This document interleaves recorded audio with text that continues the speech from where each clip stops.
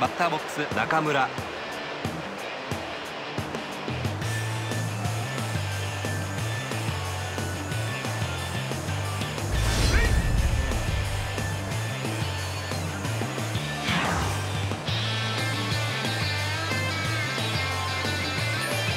初球は何から入ってくるか。まあ走ってくる可能性も考えた方がいいでしょうね。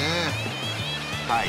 初球ランナーはインコース詰まりました。ここは打ち上げていますセカンドが落下点に入ります。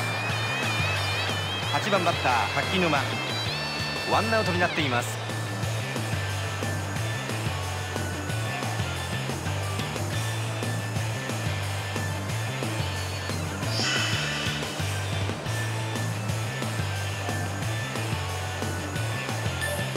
さあまず1球目。